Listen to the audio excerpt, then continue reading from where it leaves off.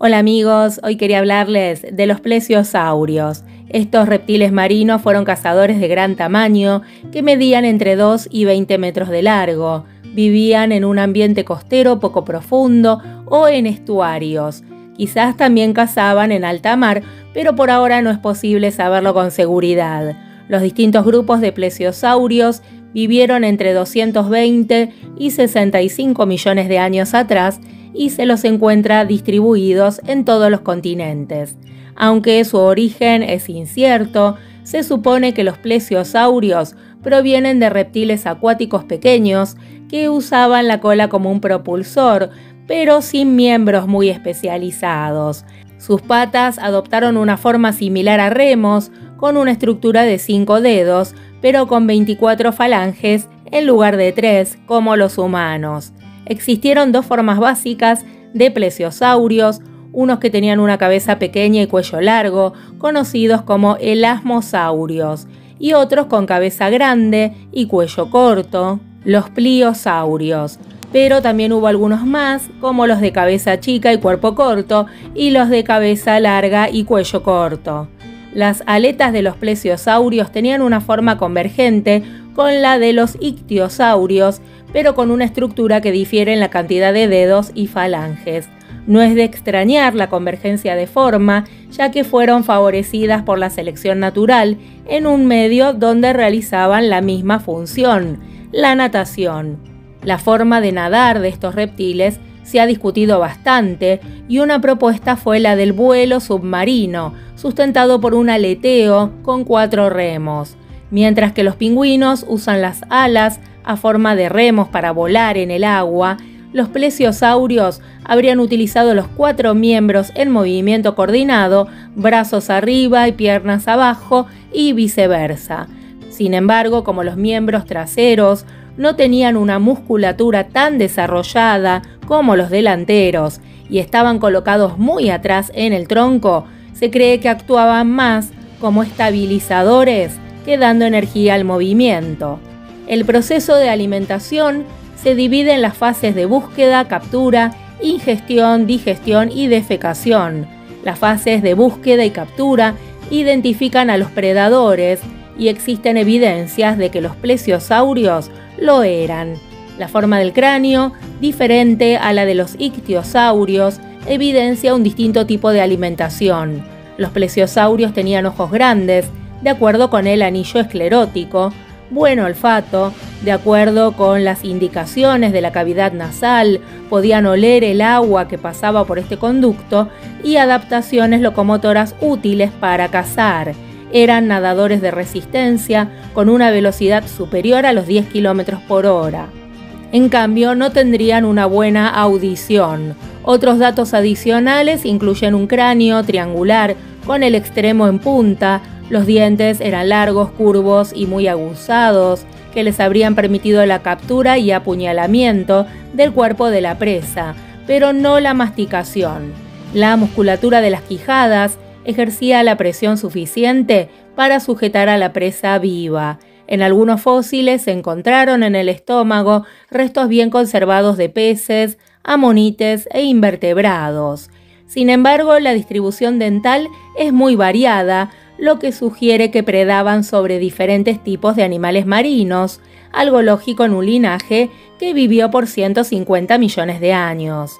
Lo mismo se puede deducir de las marcas de dientes que han dejado en huesos de ictiosaurios y de otros plesiosaurios. Se ha sugerido también que los dientes largos y delgados podrían ser útiles para rastrillar los sedimentos mientras que los dientes grandes y robustos servirían para atrapar peces. En muchos casos, los cráneos pequeños de los plesiosaurios dificultan su conservación y en otros fueron robados por encargo de coleccionistas de fósiles, por lo que los paleontólogos se encuentran con grandes esqueletos sin cráneo. Una característica frecuente en los plesiosaurios es la presencia de gastrolitos o piedras en el estómago. En un ejemplar recuperado en la Antártida se encontraron más de 2.600 piedras con un peso total de 3 kilos. Sin embargo, en otros ejemplares el número es mucho menor y el peso es mayor. La utilidad de estas piedras está en discusión. aunque se ha dicho que los gastrolitos podrían haber tenido relación con la capacidad de hundirse. En realidad tendrían más efecto sobre la estabilidad que en la flotabilidad, considerando la utilidad en sus parientes lejanos, cocodrilos y dinosaurios no avianos, es posible que estuvieran ligados a la molienda y digestión de la comida. Para esto deberíamos hallarlos limitados a un sector del esófago, la molleja, donde se realiza el machacado del alimento antes de pasar al estómago. Las contradicciones son diversas. Por ejemplo, en las aves, los gastrolitos son frecuentes en las herbívoras, pero no en las carnívoras, y los plesiosaurios eran carnívoros.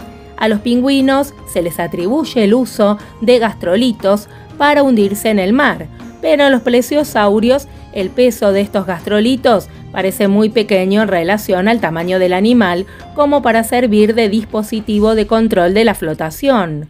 Además, con el tamaño reducido de los gastrolitos encontrados, es muy probable que se perdieran con la evacuación normal de los desechos y debieran ser reemplazados con regularidad.